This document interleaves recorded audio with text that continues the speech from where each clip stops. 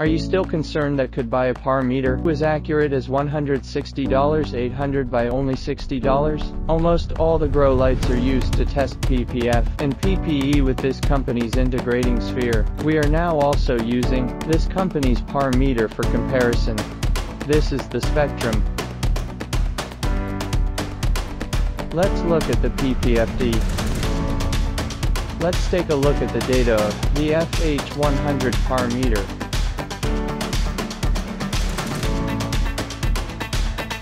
The data for both are almost the same.